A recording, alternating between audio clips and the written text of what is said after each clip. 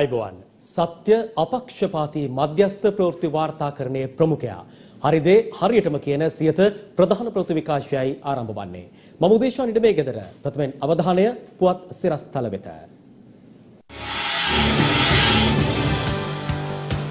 නව නිරෝධායන නීති ඇතුළත් විශේෂ ගැසට් පත්‍රයට සෞඛ්‍ය අමාත්‍යවරයාත් සන් තමයි ගැසට් පත්‍රය නිකුත් කිරීමට සියල්ල සූදානම් මිනුවන්ගොඩ කොවිඩ් පොකුරෙන් වාර්තාාවන රෝගින් සංඛ්‍යාව එක්දහස් හත්සය පණහේ සීමාව ඉක්මවායයි. දිවන්න පුරා සිනමා ශාලා ඔක්තෝමර් මස තිස්සේ කොනදා දක්වා වසාදමෙයි. කොළඹ මහනගර සමහවත් ජනතාවට තහනම්. බස්රත හයකින් කොවිඩ් ආසාධිතීන් හමුවෙයි. යාල සංචාරක මඟ පෙන්වන්නෙකුටත් කොරෝනා. ශ්‍රී ලංකාවේ ජනගහනයෙන් බින්දුවයි දශම බින්දුවයි දෙකයි පහකට කොරෝනා. නවරැල්ලේ දරුණු තත්ත්වයේ රෝහල් පද්ධතියේ ධාරිතාවය අවමවීමයි. සමාජ ව්‍යාප්තිය කරා පවතින අවධානමත් වැඩි. රජයේ වෛද්‍ය නිලධාරීන් අවධාරණය කරයි. රජරට හංගපු වී. රටේ ආර්ථිකය දැඩි අනතුරක. ණය දෙන්න කවුරුත් නැහැ. ගෙවන්න සල්ලිත් නැහැ. හර්ෂ කියයි. පෞද්ගලික අංශයේ විශ්‍රාම යන වයස අවුරුදු හැට දක්වා වැඩි කරයි. කාලගුණයත් වෙනස් වෙයි. ප්‍රදේශ රැසකට මහා වැසි සමග තද සුළං. අභ්‍යවකාශය කැළඹෙයි. ඉදිරි පැය කිහිපය තුළ පෘථුවියට අනතුරක්. ප්‍රථමයෙන් නවධානය දේශීය පුවත් වෙත. නව නිරෝධායන නීතිය ඇතුළත් විශේෂ ගැසට් පත්‍රය අද රාත්‍රියේ නිකුත් කිරීමට නියමිතව තිබෙනවා. ඒ සඳහා අත්සන් තැබීම සෞඛ්‍ය අමාත්‍ය පවිත්‍රා වන්‍යාරච්චි මහත්මිය විසින් අද පස්වරුවේ සිදු කරනු ලැබුවා. මේ අතර මිනුවන් ගොඩ කොවිඩ් පොකුරට සම්බන්ධ ආසාදිතයින් 49 දෙනෙකු අද පස්වරුව වන විට වාර්තා වී තිබෙනවා. මේ අනුව මිනුවන් ගොඩ කොවිඩ් පොකුරෙන් වාර්තා වන සමස්ත රෝගීන් සංඛ්‍යාව අද පස්වරුව වන විට වාර්තා වුණේ 1770ක් ලෙසයි.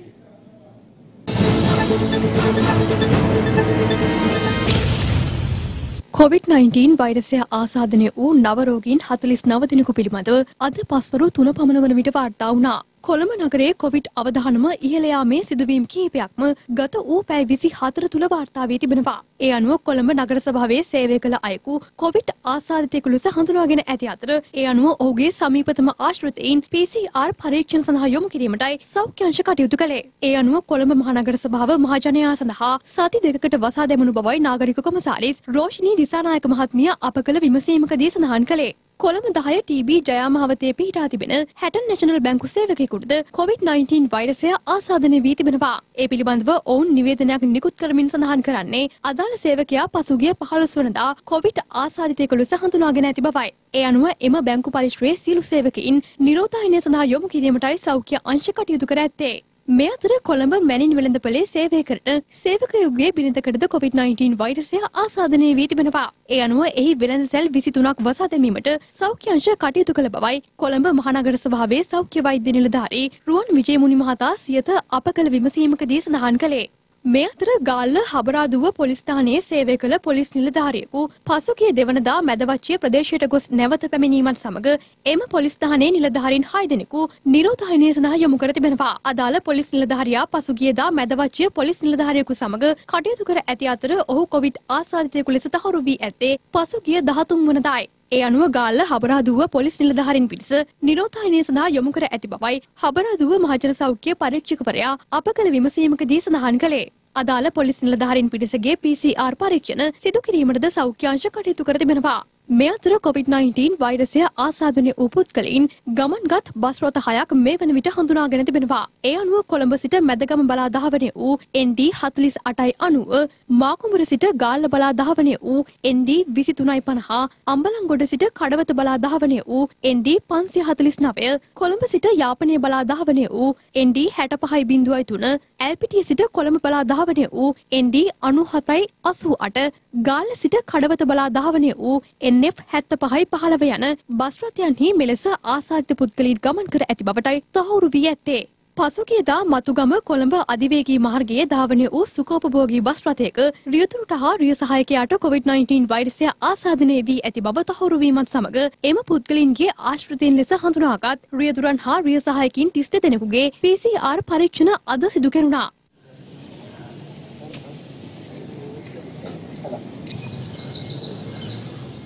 පසුගිය තුන්වනදා දිවුලපිටිය ප්‍රදේශයේ පැවති මංගල උත්සවයක් සඳහා සහභාගී කොවිD-19 වෛරසය ආසාධනය වී ඇති බව තහවුරු වී තිබෙනවා. අදාළ කාන්තාව සමග මංගල උත්සවය සඳහා බස් රථයෙන් ගමන්ගත් රාවතාවත්ද විල්ලෝරවත්ද කඩුලාන එගඩුවීන හා කොරටවැල්ල ප්‍රදේශවල පදිංචිකරුවන් පිරිසක් සොය නිරෝධායනය සඳහා යොමු කිරීමටයි සෞඛ්‍යාංශ කටයුතු කර තිබෙන්නේ. තිස්සම හරාම සේනපුර පදිංචි යාල සංචාරක හෝටලයක සේවය කරන පුද්ගලයෙකුටද COVID-19 වෛරසය ආසාදනය වී තිබෙනවා.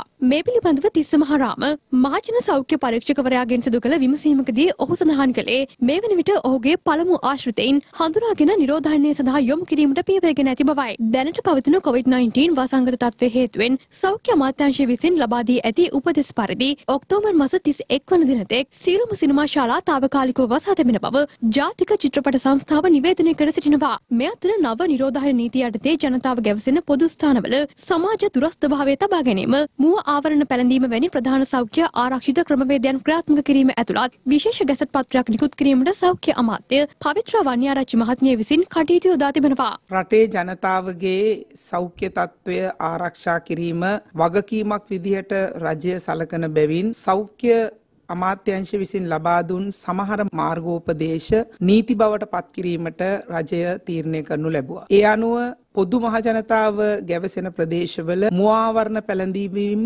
එවගේම සමාජ දුරස්ථභාවය පවත්වාගෙන යාම වැනි කාරණා නීතියක් බවට පත්කරන ගැසට් පත්‍රය අද පළකිරීමට නියමිතව තිබෙනවා. එහිදී විශේෂයෙන්ම එම නීති කඩ කරන පුද්ගලයින්ට රුපියල් දහදාහකට නොවැඩි දඩයකුත් මාස 6කට සිර දඬුවමකුත් යන කාරණා දෙකම හෝ එක් දඬුවමක් ලබා දීමට අධිකරණයට හැකියාව ලැබෙනවා. අද දින මා විසින් අත්සන් කරනු ලැබුණු ඒ ගැසට් පත්‍රයේ පත්‍රයේ තවදුරටත් නොයෙකුත් කාරණා සඳහන් කර තිබෙනවා විශේෂයෙන්ම පොදු ස්ථාන එවාගේම ව්‍යාපාරික ස්ථාන එවගේම සේවා ස්ථාන පවත්වාගෙන යාමේදී අනුගමනය කළ යුතු කාරණා නීතියක් බවට මෙම ගැසට් පත්‍රය මගින් පළ කරනවා එවගේම සංචරණය සීමා කිරීම නිරෝධායනය ප්‍රවාහනය වැනි කාරණා සම්බන්ධයෙන් මෙතෙක් පැවති නීති තවදුරටත් ශක්තිමත් කිරීමත් මෙම ගැසට් පත්‍රය මගින් සිදුවනවා.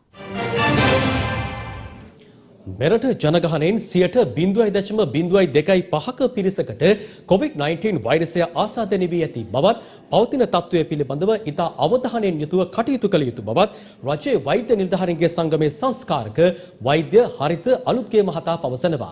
ඒ අද කොළඹදී පැවති මාධ්‍ය හමුවකට සහභාගී වෙමින් දැන් රෝගීන් 5000කට වැඩි ගාණක් වාර්තා වෙලා තියෙනවා. 1000 මං හිතන්නේ 700කට වැඩි ගාණක් මේ අලුත් රෝගී පොකුරත් එක්ක තමයි වාර්තා වෙලා තියෙන්නේ.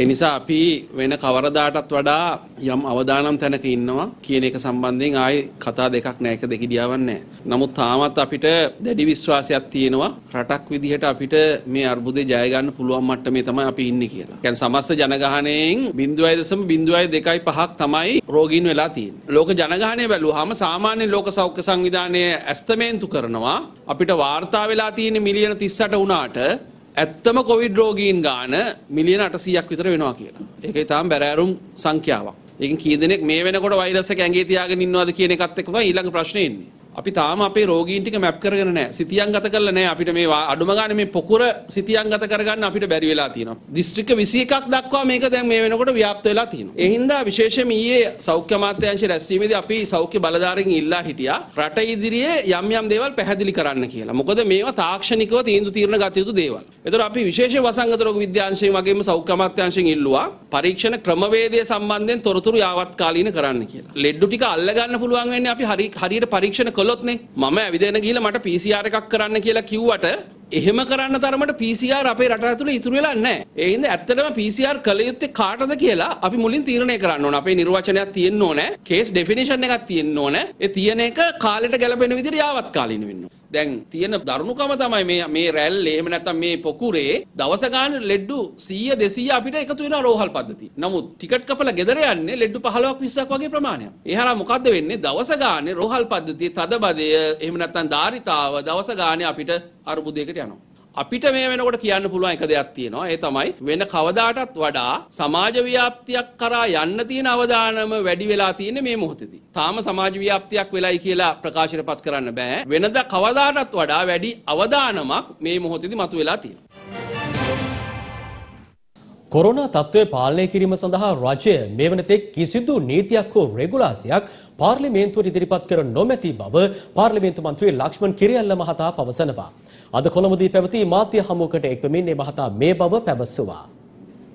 දැන් මේ කොරෝනා ලංකාවට ඇවිල්ලා දැන් මාස 10ක් විතර වෙනවා. මේ කොරෝනා පාලනය කරන්න රජය කිසිම නීතියක් රෙගුලාසියක් පාර්ලිමේන්තුවට ගෙනාවේ නැහැ. හැම රටක් වගේම අප්‍රේල් මැයි වෙනකොට නීති රීති ගෙනාවා මේ කොරෝනා පාලනය කරන්න. අපේ අය කයිවාරු ගගා හිටියා මිස තාමත් කයිවාරු ගහනවා. කිසිම නීතියක් රෙගුලාසියක් ගෙනාවේ නැහැ. මේ පාලනය කරන්න. ඒක පුදුමයක් නෙවෙයි මොකද රජයේ හැමදාම කිව්වේ කොරෝනා ඉවරයි කියලා. මුඛාවරණ කියලා තියෙනවනේ. ඇන්දේ නැහැ කියලා කෙනෙක් උසාවියට ගේන්න පුළුවන්ද? අපේ රටේ කටින් කියන එක විතරයි. නීති රීතියක් නැහැ. අපේ රජයේ බුදියකට හිටියේ පාස කීපයක් මැතිවරණ ව්‍යාපාරය ගිරිච්චේ COVID-19 දිනු පොහොට්ටුව කියලා. සිල්ලන විදියට මැතිවරණ ව්‍යාපාරය දිරන්න රටේ ජනතාවට බොරු කිව්වා. අපිත් ආණ්ඩුව විශ්වාස කෙරුවා. අපිත් රැවටු නැත්තම කියන්නේ නැහැ. ආණ්ඩුව මේක ඉවරයි කිව්වාම හැම එක්කිනාම මේක ආරක්ෂා වීම පොඩ්ඩක් දුර්වල වුණා. ඉතින් මේ தත්ත්වයේ උඩ අපි කොහොමද ඉස්සරහට යන්නේ? කියන්නේ. දැන් අත්‍යවශ්‍ය භාණ්ඩ වල මිල. ඔය රජය ප්‍රකාශ කරන මිල ගණන් වලට බඩු නෑ. ඒක තමයි තිත්ත ඇත්ත. රට විශාල ආර්ථික අර්බුදයක් තුළ ඉන්නේ. මේ ආර්ථික අර්බුදය පටන් ගත්තේ රජය විසින්ම. ඉතින් අපේ රජයට කියන්නේ විශ්වාසය ඇති කරගන්න නම් විපක්ෂයත් එක්ක සාකච්ඡා කරලා පොදු වැඩපිළිවෙලකට යමු. ඉතින් අපේ රජයට කියනවා පාර්ලිමේන්තුවේ වගකීම ඉෂ්ට කරන්න. වෙළඳ කලාප සේවකීන් මේ වන විට නිරෝධායන ඇඳිරි නීතියේ ගොදුරක් බවට පත්ව ඇති බව වෙළඳ කලාප සේවකීන්ගේ ජාතික මධ්‍යස්ථානය පවසනවා. මේ අතර ලංකා ගුරු සේවා සංගමේ ලේකම් මහින්ද ජයසිංහ මහතා පවසන්නේ උසස් පෙළ විභාගයේ පැවැත්වෙන ඉදිරි දින කිහිපය තුළ සිසුන්ගේ සෞඛ්‍ය ආරක්ෂිත බව තහවුරු කිරීම සඳහා ආණ්ඩුව කඩිනමින් පියවර ගත යුතු බවයි. අද හතරවෙනි දිනය මේ විභාගයේ තවත් දින 18ක් විභාගයේ පැවැත්වීමට නියමිතව තිබෙනවා. මේ විභාගයේ පවත්වගෙන යද්දී අවදානමක් තිබෙන බවට මේ ආණ්ඩුවවත් විභාග දෙපාර්තමේන්තුවත් අධ්‍යාපන අමාත්‍යාංශයවත් සැලකිල්ලට අරන් තිබෙන බවක් පෙනෙන්නට නැහැ. විභාග කොමසාරිස්වරයාගේ පැත්තෙන් නිවේදන දෙකක් නිකුත් කරලා තිබුණා. විභාග මධ්‍යස්ථාන විස බීජ හරණය කිරීම සඳහා දිසාපති ප්‍රාදේශීයලකම් පළාත් පාලන ආයතන හා මහජන සෞඛ්‍ය පරීක්ෂක සම්බන්ධීකරණය කොට මැතිවරණ කාර්ය සඳහා සඳහා යොදාගනු ලැබූ ඉතිරි විස බීජ නාශක දියර තොග පැවතී නම් ඒවා ලබාගෙන විස බීජ හරණය කිරීම දෙක කියනවා රුපියල් 1000ක් ලබා දීලා තිබෙනවා විභාග ශාලාධිපතිවරයෙකුට විස බීජ නාශක ද්‍රව්‍ය ගන්න දැන් මේ සැනිටයිස් එකේ මිල රුපියල් 675යි රුපියල් 1000කින් දවස් 22කට කොහොමද සෞඛ්‍ය ආරක්ෂිත උපකරණ අත්‍යවශ්‍ය දේවල් මිලදී ගන්න අපි ලිඛිතව මේ සම්බන්ධයෙන් ඉල්ලා සිටියා නැවත ආණ්ඩුවට අවධාරණය කරන්නේ මේ දින 18 සෞඛ්‍ය ආරක්ෂිතව අපේ දරුවන්ව රැකගන්න අවශ්‍ය කරන මැදිහත්වීම කරන්න අවශ්‍ය කරන ප්‍රතිපාදන ටික වෙන් කරන්න. දැන් වෙළඳ කලාපයේ සේවකයා මේ වෙනකොට දෙවරක් හැම ගහන තත්ත්වයට පත් වෙලා තියෙනවා. මේ වෙනකොට එක පැත්තකින් ආණ්ඩුව පොලිස් ඇඳිලි නීතිය සහ නිරෝධායන ඇඳිලි නීතිය දාලා ආණ්ඩුව තමන්ගේ වගකීමෙන් නිදහස් වෙලා කටයුතු කරනවා. ඒ වගකීමෙන් නිදහස් වෙලා කටයුතු කිරීම නිසාම පොලිස් ඇඳිලි නීතිය සහ නිරෝධායන ඇඳිලි නීතිය ගොදුරු බවට එක පැත්තකින් අද මේ වෙළඳ කලාප සේවක සේවිකාවන් පත් වෙලා තියෙනවා. අනෙත් පැත්තෙන් ආයතනයේ පාලනාධිකාරිය විසින් අනුගමනය කරන ලබන ඔවුන්ගේ ඉලක්කයන් සහ ඔවුන්ගේ අරමුණු සපුරාලීන් වෙනුවෙන් ඔවුන්ට තමන්ගේ දිවි නොතකා වැඩ කරන්න සිද්ධ වෙලා තියෙනවා. නිසා ආණ්ඩුව දැන් මේ වෙනකොට මේ සම්බන්ධයෙන් වගකීමකින් විරහිතව කටයුතු කරනවා කියන එක ඉතා පැහැදිලි. මේ වෙනකොට ආයෝජන මණ්ඩලයේ සභාපතිවරයා චක්‍රලේඛයක් නිකුත් කරලා තියෙනවා මුළු වෙළඳ කලාප සේවකයන්ගෙන් 101ක් PCR පරීක්ෂණය කරන්න කියලා. හැබැයි ඒකට අවශ්‍ය කරන පහසුකම්, ඒකට අවශ්‍ය කරන අනිකුත් මැදිහත් වීම නොකර නිකන් චක්‍රලේඛයකින් විතරක් අග බේර ගන්න බෑ. ඒ නිසා අපි ආණ්ඩුවට කියන්නේ මේ සම්බන්ධ වගකීම ආණ්ඩුව ගන්න. කටුනායක පොලිස් බල ප්‍රදේශයේ පොලිස් ඇඳිලි නීතිය දැම්මා. ඇඳිලි නීතිය දැම්මේ කොරෝනා පැවතිරණ එක නතර කරන්න නම්. ඒ ඇඳිලි නීතිය සමස්තයටම බලපාන හැබැයි ආයතන සේවය කරන සේවක සේවිකාවන්ට ඇඳිලි නීතිය පසකලා වැඩ කරන පාරට බහිඳ වෙලා තියෙනවා. වෝටෆ්‍රන්ට් ඉන්ටග්‍රේටඩ් රිසෝට් නිවාස සංකීර්ණයේ පැවති ආගමික වැඩසටහනකට අග්‍රාමාත්‍ය මහින්ද රාජපක්ෂ මහතා සහභාගී වුණා. කොළඹ දොළහා ජස්ටිස් අක්බාර් වීදී ඉදිකරන ලද වෝට ෆ්‍රන්ට් ඉන්ටග්‍රේටඩ් රිසෝට් නිවාස සංකීර්ණයේ පැවති පිරිත් දේශනාව සඳහා අග්‍රාමාත්‍ය මහින්ද රාජපක්ෂ මහතා එක් වුණා. නිවාස සංකීර්ණයේ පළමු ගොඩනැගිල්ලේ මූලික වැඩ අවසන් කිරීමට සමගාමීව මහා සංඝරත්නයේ ආශිර්වාද ලබා ගැනීම සඳහා මෙම පිරිත් දේශනාව සංවිධානය කර තිබුණා. මහල් 47කින් යුත් නිවාස සංකීර්ණ දෙකක්, සිනමාහල්, සාප්පු සංකීර්ණ සහ ආපන ශාලාවලින් සැදුම්ලත් මෙම නිවාස සංකීර්ණයේ මූලික කටයුතු අවසන් කළ ගොඩනැගිල්ල මහල් 33 ගණකින් සමන්විතයි. මේ අතර නවරාත්‍රී පූජා උත්සවයට සමගාමීව තොරාගත් හින්දු කෝවිල් 40ක් සඳහා රුපියල් 50000 බැගින් මුදල් ආධාර ප්‍රදානය කිරීම අග්‍රාමාත්‍ය මහින්ද රාජපක්ෂ මහතාගේ ප්‍රධානත්වයෙන් අද අරලියගහ මන්දිරයේදී පැවැත්වුණා. COVID-19 වසංගතය හේතුවෙන් මුළු ලෝකයේම විශාල තර්ජන සහ අර්බුදවලට මුහුණ පා ඇති අවස්ථාවක රජයක් ලෙස හින්දු ආගමික සාරධර්ම ආරක්ෂා කිරීම අප සැමගේ වගකීමක් බවයි අග්‍රාමාත්‍යවරයා මෙහිදී පෙන්වා දුන්නේ. මුදල් ආධාර ප්‍රදානය සංකේතවත් කරමින් කෝවිල් භාරකාර මණ්ඩලවල සභාපතිවරුන් පැමිණ අග්‍රාමාත්‍යවරයා අතින් මූල්‍ය ආධාර චෙක්පත් ලබා ගත්තා. දේශපාලන බල අරගල වෙනුවට ජනතාවට වහම සහන සනසන ලෙසට විපක්ෂ නායක සජිත් ප්‍රේමදාස මහතා නිවේදනයක් නිකුත් කරමින් රජයෙන් ඉල්ලීමක් කර තිබෙනවා. විපක්ෂ නායක සජිත් ප්‍රේමදාස මහතා වර්තමානයේ රටේ ඇතිවී ඇති තත්ත්වය පිළිබඳව විශේෂ නිවේදනයක් නිකුත් කර තිබෙනවා. එම නිවේදනයේ නුපුටා ගැනීම් කිහිපයක් මිනුවන්ගොඩ කේන්ද්‍රගත කොට හමු වූ කොරෝනා පුකුර රට පුරා තැනතන ව්‍යාප්තව පවතින අතර එම තත්ත්වයේ දිනදා ජනජීවිතවලට බරපතල තර්ජනයක් එල්ල කිරීමට හේතු වී තිබේ. මෙවැනි විටත් ප්‍රදේශ කිහිපයකට ඇඳිරි නීතිය පනව ඇති අතර තර්ජිත ප්‍රදේශ කිහිපයක් හුදකලා කොට තිබේ. සහ මුලින්ම රජයේ නොසලකිලිමත් බව හේතු කොටගෙන කොරෝනා දෙවනිරෙල්ල ඇති වූ බව සත්‍ය තත්ත්වයයි. ඒත් මෙම ව්‍යසනය ආරම්භ වූ දා සිටම අප නිරන්තරයෙන් අවධාරණය කළේ කොරෝනා ව්‍යසනය තුරන් කිරීමට ආණ්ඩුවට කොන්දේසි විරහිතව සහාය ලබා දෙන බවයි. කෙසේ වෙතත් මෙම ව්‍යසනය ව්‍යසනය මොහොතේ පවා ආණ්ඩුව සුපුරුදු දේශපාලන සූදුවෙහි යෙදමින් සිටින අතර ව්‍යසනයේ පීඩාව අත්විඳින ජනතාව පිළිබඳව ආණ්ඩුව කිසිදු තැකීමක් නොකරන බව වගකීමෙන් යුතුව ප්‍රකාශ කරමු. සිය ප්‍රාදේශීය දේශපාලන නියෝජිතයින් ලවා ජනතාවට අවිධිමත් ලෙස රුපියල් 5000ක දීමනාවක් බෙදා දීමට කටයුතු කළ ආණ්ඩුව මෙදා මිනුවන්ගොඩ ඇතුළු ප්‍රදේශවල ජනතාවගේ කඩාවැටුණු ජන ජීවිතය දෙස නෑසූ කන්ව සිටීම කනගාටුවට කරුණකි. මැතිවරණ සමයක එක් පිළිවෙතකුත් මැතිවරණ නැති සමයක තවත් පිළිවෙතකුත් අනුගමනය කරන ආණ්ඩුව ජනතාව කෙරෙහි දක්වන ආකල්පය මනාව ඔප්පු කරමින් සිටි. මේ මොහොතේ හුදු බලලෝභය සහ පටු දේශපාලන ඕමනාව පසෙක දමා පීඩාවටපත් ජනතාවට කෙටිකාලීන, මධ්‍යකාලීන සහ දිගුකාලීන සහන සැලසීමේ ක්‍රියාවලියකට අවතීර්ණ වන ලෙස අප ආණ්ඩුවට නැවත නැවතත් බල කර සිටිමු. විපක්ෂ නායක සජිත් ප්‍රේමදාස උපුටා ගැනීම අවසන්. අපරාධ පරීක්ෂණ දෙපාර්තමේන්තුව විසින් තමන් අත්අඩංගුවට ගැනීම වැළැක්වීමේ අතුරු නියෝගයක් නිකුත් කරන ලෙස ඉල්ලා හිටපු අමාත්‍ය රිෂාඩ් බදියුද්දීන් මහතා විසින් අභියාචනාධිකරණයට රේට් පෙත්සමක් ඉදිරිපත් කර තිබෙනවා. අපරාධ පරීක්ෂණ දෙපාර්තමේන්තුව විසින් තමන්ව අත්අඩංගුවට ගැනීම වැළැක්වීමේ අතුරු නියෝගයක් නිකුත් කරන ලෙස ඉල්ලා හිටපු අමාත්‍ය රිෂාඩ් බදුදීන් මහතා විසින් අභ්‍යාචනාධිකරණයට රිට් පෙත්සමක් ඉදිරිපත් කර තිබෙනවා. එම පෙත්සමේ වගඋත්තරකරුවන් ලෙස වැඩබලන පොලිස්පති සීඩී වික්‍රමරත්න අපරාධ පරීක්ෂණ දෙපාර්තමේන්තුව භාර නියෝජ්‍ය පොලිස්පති එස්.පී. රණසිංහ විමර්ශන සිදු කරන උපපොලිස් පරීක්ෂක ගාමිණී ඇතුළු හත් දෙනෙකු නම් කර තිබෙනවා. පෙත්සම්කාර රිෂාඩ් බදුදීන් මහතා පෙන්වා දෙන්නේ එම සිද්ධිය සම්බන්ධයෙන් තමාට එරෙහිව පොදු දේපල පනත යටතේ චෝදනා එල්ල කිරීම සඳහා කිසිදු පදනමක් නොමැති බවයි. අභ්‍යන්තර අවතැන් වූ ඡන්දදායකින් ප්‍රවාහනය කිරීම සිදු කරනු ලැබුවේ අවතැන් වූවන් පිළිබඳ නැවත පදිංචි කිරීමේ ව්‍යාපෘතිය යටතේ පවතින ප්‍රතිපදන යොදා ගනිමින් යයි ඔහු පෙන්වා දෙනවා. මෙම අවතැන් වූ ඡන්දදායකින් ජනාධිපතිවරණයේදී ඡන්දය ප්‍රකාශ කිරීම සඳහා අදාළ ප්‍රදේශවලට ලංකම බස් රථ වලින් රැගෙන යාම සඳහා තමා 2019 වසරේ නොවැම්බර් මස 15 වනදා එවක මුදල් අමාත්‍ය මංගල සමරවීර මහතාගෙන් අනුමැතිය ඉල්ලා සිටි බව පවසන කරන පෙත්සත්කාර බදුදීන් මහතා එවක මුදල් අමාත්‍යවරයා විසින් ඊට අදාළ අනුමැතිය ලබා දුන් බවද පවසනවා. ඒ අනුව අදාළ ඡන්දදායකින් ප්‍රවහණය කිරීම සිදු කරනු ලැබුවේ මුදල් අමාත්‍යාංශයෙන් ලද අනුමැතිය මතයයි පවසන රිෂාඩ් බදුදීන් මහතා ඒ අනුව එම ක්‍රියාව තුළ කිසිදු නීති විරෝධී වරදක් උද්ගත වී නොමැති බවයි පෙන්වා දෙන්නේ. ඒ අනුව රජයේ මුදල් සාබද්ධ ලෙස පරිහරණය කළේ යයි තමා වෙත චෝදනා එල්ල කිරීම සඳහා කිසිදු පදනමක් නොමැති බවද ඔහු පවසනවා. ඒ අනුව කිසිදු සාධාරණ පදනමක් නොමැතිව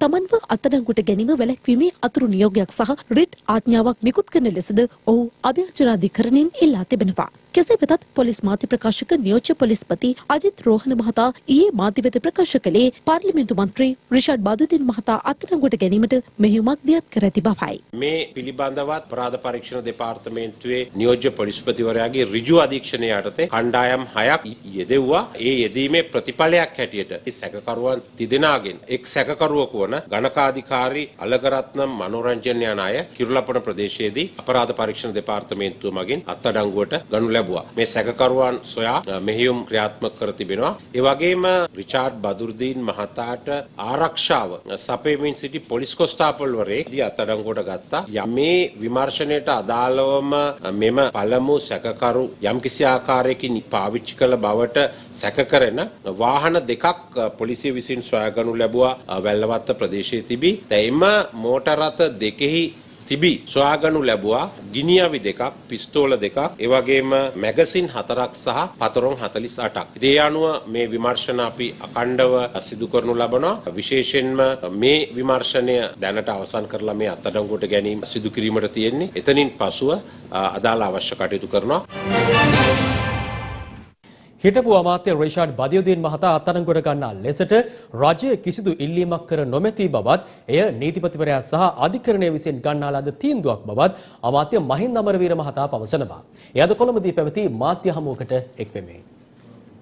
මං හිතනවා අද දවසේ නීතියේ ක්‍රියාත්මක වෙයි කියලා අපි බලාපොරොත්තු වෙනවා. ඉංගිලයින ලේසි නෑ ලංකාවේ. මං හිතන්නේ නෑ. රජයේ කවුරුත් එහෙම අංගගෙන ඉන්න අවශ්‍යතාවයක් නෑ. කවුරුත් අංගගෙන ඉන්න අවශ්‍යතාවයක් නෑ. අද දවසේ බොහෝ දුරට මේ අත්අඩංගුවට ගැනීම සිද්ධ වෙන්නේ. දේශපාලඥයාටද අනිත් කෙනාටද නෑ නීතිය හරියට ක්‍රියාත්මක වෙන්න ඕනේ කියන මතය තමයි අපි කොම් පරීක්ෂණ දේ සිද්ධ වෙනවා. මේ අත්අඩංගුවට ගැනීමට නියම වෙලා තියෙන අර බස් රථ වලට මුදල් ලබා දීලා 95ක රාජ්‍ය දේපල අවභාවිතා කිරීම පිළිබඳවනේ. ඒ ඉතින් ඒ නිසා එක මේ එක සිද්ධියක්. අනිත් ඒවටත් ඒ නීතිපතිවරයානේ මේ කියන්නේ මේ මහින්ද අමරවීරවත් ගෝඨාභය රාජපක්ෂ මහත්තයාත් මේ අත්අඩංගුවට ගන්න කියලා නැහැ. අපි කවුරුවත් කියලා නැහැ අත්අඩංගුවට ගන්න කියලා. මේක වැරදි විදිහට හිතන්න එපා මේ මේ අපි නෙමෙයි මේ කියලා තියෙන්නේ නීතිපතිවරයා. අධිකරණයේ තීන්දුව පොලිසිය, රහස් පොලිසිය, පොලිසිය තමයි මේ ඉල්ලන්නේ. නැතුව මේ ආණ්ඩුව ඉල්ලලා නැහැ. ආණ්ඩුව කියන්නේ කාටවත් රාජකාරී වැරදි කරනවා. ඒක මේ රිෂාඩ් බදුර්දීන්ද මහින්ද අමරවීරද කියලා වෙනසක් නැහැ. වැරදි කරන අයට දඬුවම් ලබා දීමට රජයේ නිදහස ලබා දීලා තියෙනවා. නමුත් ඔහු වැරද්දක් කළා තියෙනවා කියලා මේ නීතිපතිවරයා දන්නලා තියෙනවා. ඊළඟට අමාත්‍යාංශය පිළිබඳව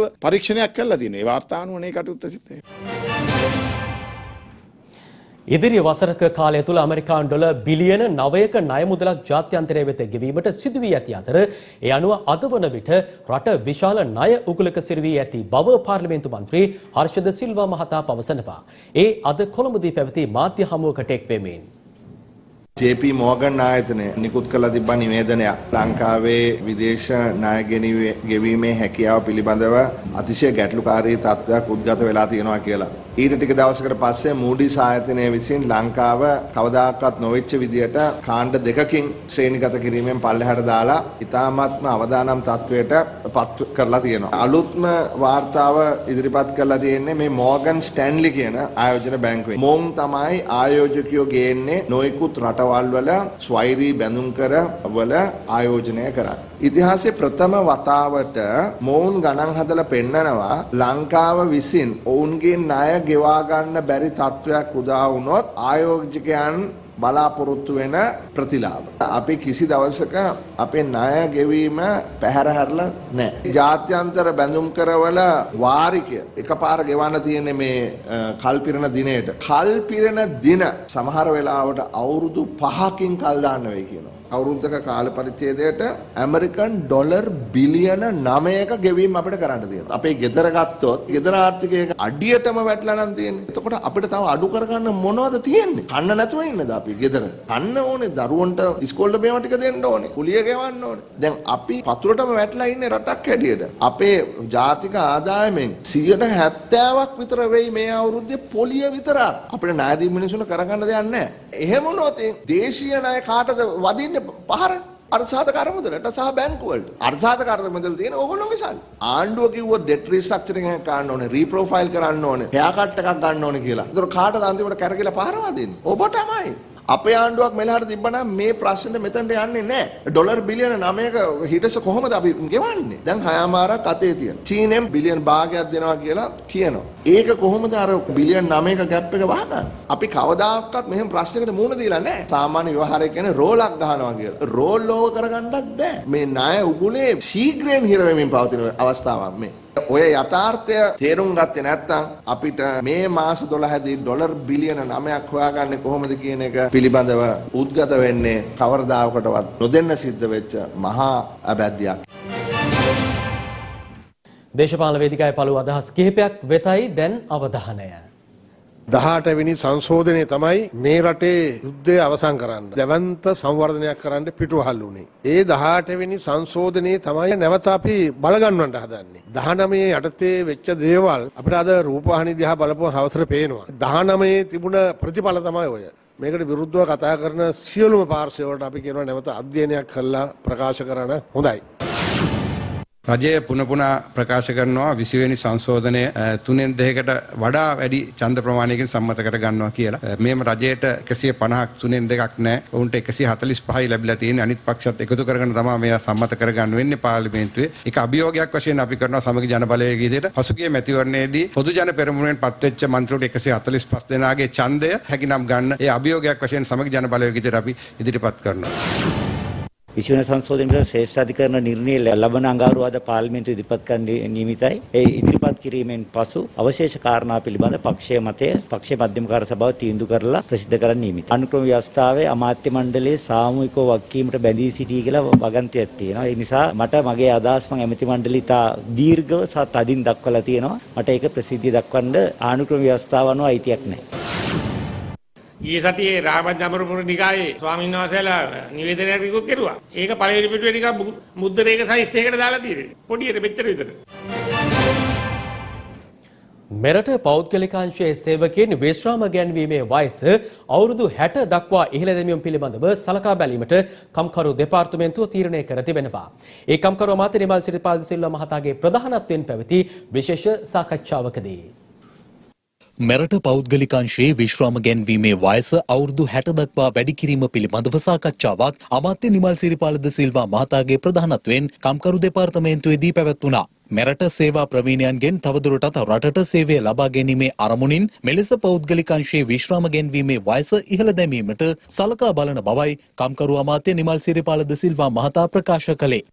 පෞද්ගලිකංශයේ සේවය කරන සේවකයින්ගේ සේවය කරන කාල සීමාව වයස අවුරුදු 60 දක්වා දීර්ඝ කිරීම පිළිබඳව අද සාකච්ඡාවක් පැවැත්වුවා. තවදුරටත් එය නීතිගත කිරීමේදී කළ යුතු වෙනත් කාර්යයන් තියෙනවා නම් ඒවා පිළිබඳව තවදුරටත් සාකච්ඡා කළා ඒවත් ඇතුළත් කිරීමට ඊළඟ සභාවාරයේදී මේ පිළිබඳව අවසාන තීරණයක් ගැනීමටයි අපි කටයුතු කරන්නේ. ඉදිරි දින කිහිපය තුළ දෙවයිනේ ප්‍රදේශ රැසකට තද සුළන් සහ වැසි තත්ත්වයක් බලපා හැකි බව කලබුණිදා දෙපාර්තමේන්තුව පවසනවා.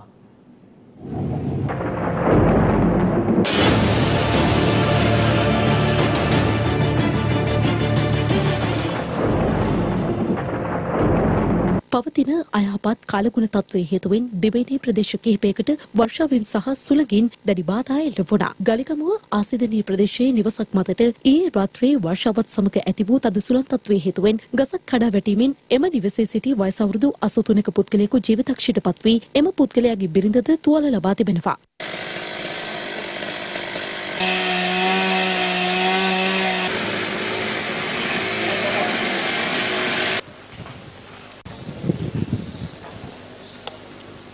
එමෙන්ම වරකපොල ප්‍රාදේශීය ලේකම් කොට්ටාසේ එලිපන්ගමුව නෙළුම්දෙණිය සහ තුන්තොට ප්‍රදේශයට ඇති වූ සුළං තත්ත්වයේ හේතුවෙන් එම ප්‍රදේශයේ නිවාස හතකටද දැඩි අලාභ හානි සිදු වී තිබුණා.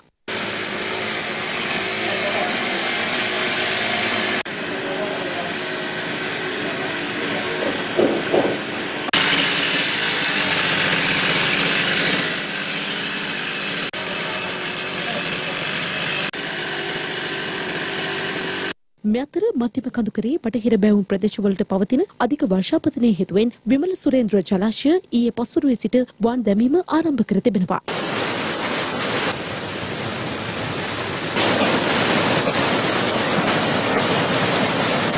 එමෙන්ම මවුසකලේ ජලාශයේ ජල මට්ටම පිටාර මට්ටමට අඩි 4ක් දක්වත් කාසල්රි ජලාශයේ ජල මට්ටම අඩි 3ක් දක්වත් ළඟ වී ඇති අතර කඳුකරේ දියඇලි සක්‍රිය වීම හේතුවෙන් පහළට ඇදහැළෙන ජල ධාරිතාවද ඉහළ ගොස් ඇති බවයි වාර්තා වන්නේ.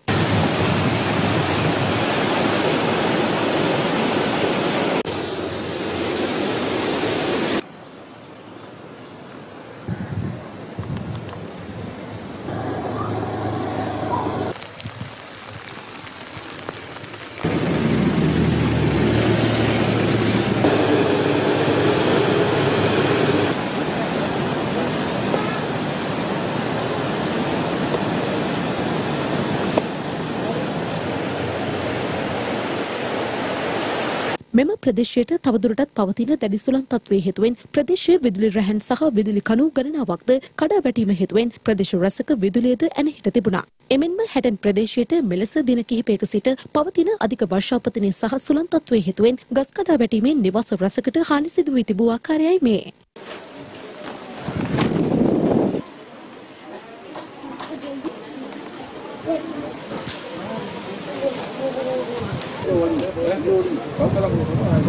මෙතර වවුනියාව දිස්ත්‍රික්කයේ පවතින දැඩි සුළං තත්ත්වයේ හේතුවෙන් එම දිස්ත්‍රික්කයේ ප්‍රදේශ කිහිපයක නිවාස රැසකටද හානි සිදු වී තිබූ අතර වවුනියාව සෙට්ටිකුලම බස් නැවතුම්පළ තුල නවතා තිබූ බස් රථයක් මතට විශාල ගසක් කඩා වැටීමෙන් එම බස් රථයට දැඩි හානි සිදු වී තිබුණා. අනුතර සිදුවන අවස්ථාවේ බස් රථය තුල කිසිවෙක් නොසිටි බැවින් කිසිදු පුද්ගලයෙකුට හානියක් සිදු වී නොමැති බවයි සෙට්ටිකුලම පොලිසිය සඳහන් කළේ.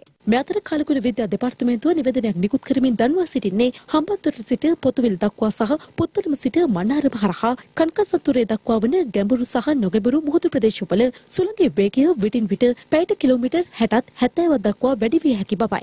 එමෙන්ම දිවයින වටා වන සෙසු මුහුදු ප්‍රදේශවල සුළඟේ වේගයද තරමක් රළු විය හැකි බැවින් දීවර සහ නාවික ප්‍රජාව මේ පිළිබඳ ඊට අවධානයෙන් කටයුතු කරන ලෙසද කලකුළු විද්‍යා දෙපාර්තමේන්තුව දන්වා සිටිනවා. අනුරාධපුර අලිවංගුව පේමඩුව ප්‍රදේශයේ සඟවා තිබූ වී කිලෝ ලක්ෂ පහකට අධික තොගයක් සමග සැකකරුවෙකු අත්අඩංගුවට ගැනීමට අනුරාධපුර පාරිභෝගික කටයුතු පිළිබඳ අධිකාරිය සමත්ව තිබෙනවා. ලද තොරතුරක් මත අනුරාධපුර පාරිභෝගික කටයුතු පිළිබඳ අධිකාරිය විසින් අනුරාධපුර අලිවංගුව පේමඩුව ප්‍රදේශයේදී කිලෝග්‍රෑම් ලක්ෂ පහකට අධික වී තොගයක් වැටලීමට කටයුතු කර තිබෙනවා.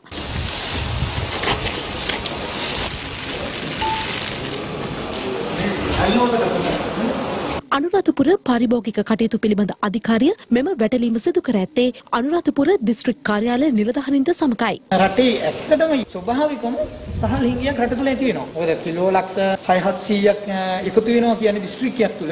තව අනෙක් දිස්ත්‍රික් වලත් එකතු වෙනවා. ඒකට සාමාන්‍ය මෝල් හිමියෝ කියන්නේ වී නැහැ කියන එක එතනින් ටිකක් යනවා. මොකද මෝල් හිමියන්ට යන්නේ නැහැ බඩු. අතනමැදියෙක් ළඟ තියෙනවා. වුන් තියාගෙන ඉන්න සහල් වල මිල වැඩි වෙනවා. මෙම වැටලීම සිදු කරන අවස්ථාවේදී අදාළ වීතෝගය සංගවාගෙන සිටි සැකකරුවෙකුද නිලධාරීන් සිය අත්අඩංගුවට ගෙන තිබෙනවා. අදාළ පුද්ගලයා අනුමැතිය ලබා දී ඇති ප්‍රමාණය ඉක්මවා වී තමා සන්තකයේ තබා ගැනීමේ චෝදනාව මත මෙලෙස අත්අඩංගුවට ගැනීමට කටයුතු කළ බවයි අප කළ විමසීමකදී පාරිභෝගික කටයුතු පිළිබඳ අධිකාරී සහකාරාධ්‍යක්ෂ ඒ ඒ ජසූර් මහතා සඳහන් කළේ. සංගවාදීප කබඩා හතරක් පරික්ෂා කරා අද මේ කබඩාවට තාවා අපි හිතන්නේ ඊයේ අද බලනකොට ලක්ෂ 10ට වඩා මේ වගේ අපේ සහල් සංගවා තිබුණා. ඒක අපි පාරිභෝගික අධිකාරිය බාරයට ගත්තා. ඉදිරි දවස්වල අපි උසාවියට ඉදිරිපත් කරලා ඒ සම්බන්ධව කටයුතු කරන්න අපි බලාපොරොත්තු වෙනවා. අතරමැදියෙන් මම කියන දේ තමයි වහාම ඒගොල්ලන් කාවේ වීතෝගය තියෙනවා නම් වහාම ඒකේ මෝල් වලට දීලා හෝ බැලඳ පොළට නිකුත් කරලා කාල් විදියට පත් කරලා ඊට පස්සේ ජනතාවට පාරිභෝගික අධිකාරිය විසින් නිකුත් කරන පාර්ලිමේන්තුවට විකුණන ලෙස අපි ඉල්ලීමක් කරනවා. අලවිනිස් ගැටුම අපට නිරන්තරයෙන් අසන්නට දකින්නට ලැබෙන අමිහිරි සිදුවීමක්. තවමත් නිසි විසඳුමක් නොමැති මෙම ගැටලුව හේතුවෙන් අසරණ තත්ත්වයට පත්ව සිටින ගොවින් පිරිසක් පිළිබඳව අනුරාධපුර පලාගල ප්‍රාදේශීය ලේකම් කොට්ටාශයෙන් අපට තොරතුරු වාර්තා වුණා. අනුරාධපුර දිස්ත්‍රික්කයට අයත් පලාකල ප්‍රදේශීය ලේකම් කොට්ටාසේ පිහිටි පහළගම කරවිලකල නෙල්ලිගම යන ප්‍රදේශවලට පැමිණෙන වන අලින්ගෙන් නිරන්තරයෙන් හානි සිදුවන බවට එම ප්‍රදේශවාසීන් චෝදනා කරනවා. අලියම හැමදෑම අපේ ගම තේනවා මගේත් මේ පොල් එකසිය හැටයි කෙසල්ග සාරසියක් ඇව එක දවසේ ඉඩම දැන් අතඇරලා නිකම් පිටනි වගේ තියෙන්නේ හිත කැඩිල්ලා නිකන් ඉන්න කිසිම මෙයකන්න ඒ ජෝවිචකට කිය වන්දිගවන්න කියලා වන්දිත් නෑ මුකුත් නෑ දැන් ඉඩම අතඇරලයින් ආයතනක හිටෙවා පොල්ගස් අසූ පහක් සම්පූර්ණයෙන් කෑවා දහවල් කාලේ කාල්ල පල්ල කැලේ රක්ෂිත ප්‍රදේශයේ සිටින මෙම වනාලි රාත්‍රී කාලය වන විට ගම්වදින බවත් පසුව ප්‍රදේශයේ ගොවින්ගේ වගාවන්ට හානි සිදු කරන බවත් ප්‍රදේශවාසීන් වැඩිදුරටත් සඳහන් කළා.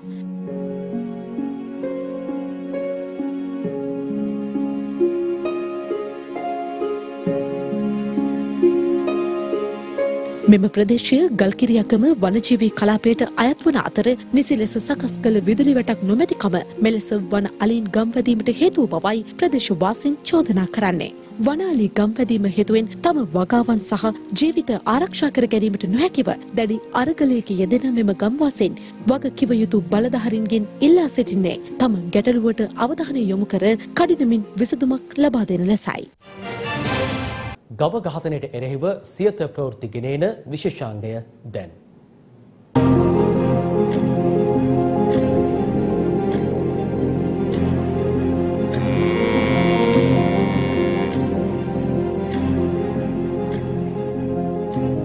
රතුමස් ගණයට අයත්වන ගවමස් පරිභෝජනය මගින් පිළිකා ඇතිවන බව අප ගවඝාතනයට එරෙහි අපගේ වැඩසටහන තුළින් ඔබව දිගින් දිගටම දැනුවත් කලා. එසේ ඇතිවන පිළිකා සම්බන්ධයෙන් ඔබ දැනුවත්ද අද අවධානය ඒ පිළිබඳවයි.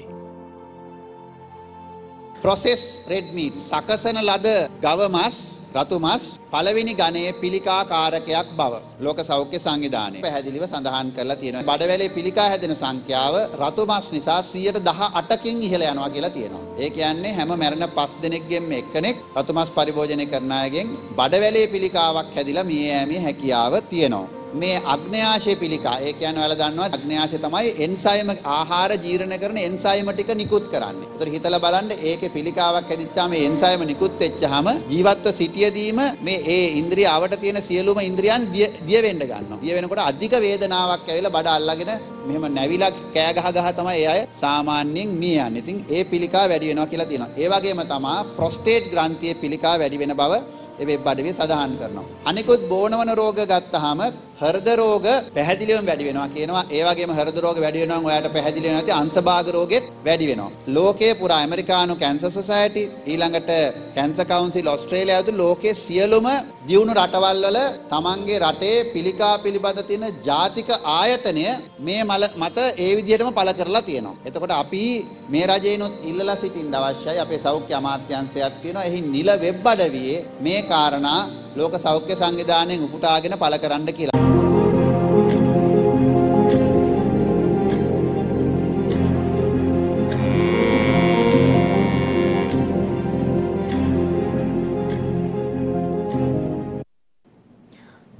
සියත රට වටා. ජනතිපති ගොටාබේ රාජපක්ෂ මහතාගේ අවධානයට ලක් වූ කෝට්ටේ ඉසුරු විද්‍යාලය නිරීක්ෂණය කිරීමේ අවස්ථාවට රාජ්‍ය මධ්‍ය පියල් නිශාන්ත මහතා සහභාගී වුණා. විශාල වශයෙන් සංවර්ධන වැඩ කටයුතු ආරම්භ කර අතරමඟ නවතා දමා ඇති මෙම විදුහලේ සංවර්ධන ව්‍යාපෘති අධීක්ෂණය කර කඩිනමින් නැවත එම සංවර්ධන ව්‍යාපෘති ආරම්භ කිරීමට මෙහිදී සාකච්ඡා වී තිබෙනවා. කේරළ ගංජා අලවිය නිරත දෙදරුමාවක් අක්මේමන පොලිසිය විසින් අත්අඩංගුවට ගෙන තිබෙනවා. අදාළ සැකකාරී සන්තකයේ තිබූ කේරළ ගංජා සහ මද්‍රව්‍ය අලවියෙන් උපයා ගන්නා ලද රුපියල් 43800ක මුදලක්ද පොලිසිය සිය බහරයට ගෙන තිබෙනවා. තලතු ඔය පොලිස් වසමට අයත් හන්තාන උඩුවෙල මාර්ගයේදී බලපත්‍ර රහිතව ප්‍රවාහනය කරන ලද කොස් සහ ටූනා දැවතුගයක් සමග ලොරි රථයක් සිය බහරයට ගැනීමට තලතු ඔය පොලිසිය සමත් වී තිබෙනවා. මෙම දැව ජාවාරම කලක පටන් සිදු කර ඇති බවටද තොරතුරු අනාවරණය වී තිබෙනවා. කොවිඩ් වසංගත තත්ත්වය හමුවේ රෝහල්වල රුධිර හිඟතාවයක් මතුවී ඇති අතර බදුල්ල මහරෝහලෙද මෙලෙස රුධිර හිඟතාවයක් පවතින බව අප වාර්තාකරුවන් පවසනවා. ඊට පිළියම් වශයෙන් බදුල්ල ජාතික එකමුතු සංසදය විසින් සංවිධානය කළ ලේදන් දීමේ වැඩසටහනක් පසුගියදා බදුල්ල මුතියංගන රජමහා විහාරස්ථානයේදී පැවැත්වුණා. කඩවත ජම්බුගස්වත්ත ප්‍රදේශයේ ගුවන්පාලම අසල බියගම ප්‍රදේශීය සභාවට අයත් ඉඩමක ගසක් කාලගුණේ මුවාවෙන් ප්‍රදේශවාසීන් විසින් පෙරලා දමා තිබෙනවා. සිය නිවාස සඳහා මාර්ගය ලබා ගැනීම සඳහා මෙලෙස ගස පෙරලා දමා ඇති බවයි අප ප්‍රාදේශීය වාර්තාකරුවන් සඳහන් කළේ. එම පුවතත් සමගින් අපගේ ප්‍රධාන ප්‍රවෘත්ති විකාශය මින් නිමවට පත්වන්නේ. අප යලිත් හමුවන්නේ රාත්‍රී 9:35ට අපගේ රාත්‍රී ප්‍රවෘත්ති ප්‍රකාශයෙන්. යලිත් හමුවෙමු රාත්‍රී ප්‍රවෘත්ති විකාශයත් සමගින්. සුබ සන්ධ්‍යාවක්. දෙනපතා අලුත් වීඩියෝ සහ ප්‍රවෘති නැරඹීමට ඉහත බටන එක කලික් කර සියත TV සබස්ක්‍රයිබ් කරන්න.